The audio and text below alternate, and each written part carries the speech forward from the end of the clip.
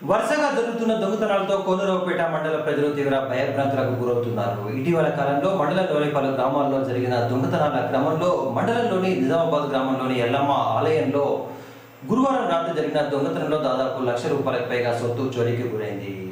CC కెమెరాల వైర్లను cut చేసిన దొంగలు అమ్మవారి కళ్ళతో పాటు ఉండిని గంటలను ఎత్తుకెళ్ళినట్లు ఈ సందర్భంగా పోలీసుల విచారణలో బయటపడింది. దొంగతనాలపై పోలీసులు గట్టి నిఘా ఏర్పాటు చేయాలని సందర్భంగా మండల ప్రజలు కోరుతున్నారు.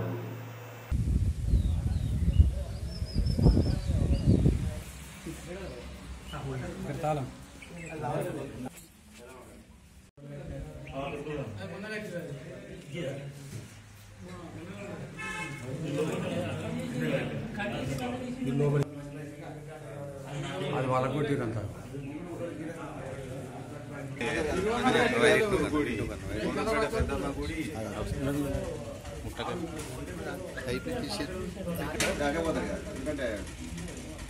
నిజామాబాద్ ఎల్లమ్మ టెంపుల్ దేవాలయంలో రాత్రి దొంగతనం దొంగతనం జరిగింది. ఈ యొక్క దొంగతనం ఘోరమైన బీభత్సంగా ఉంది.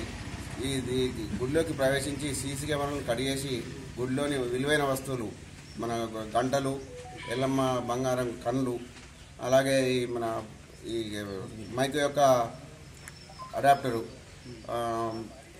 కెమెరాలు సీసీ కెమెరాలు లైట్లు ఒక లక్ష రూపాయల దాకా వీళ్ళు నష్టం చేయడం జరిగింది.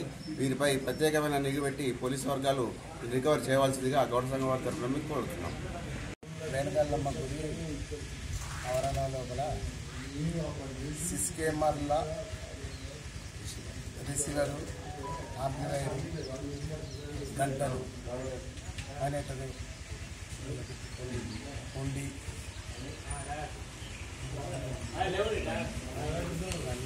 లక్ష అందు అందులోపల పొట్టు బిళ్ళలు బంగారి వెండి కళ్ళు గల్లపెట్టల డబ్బులు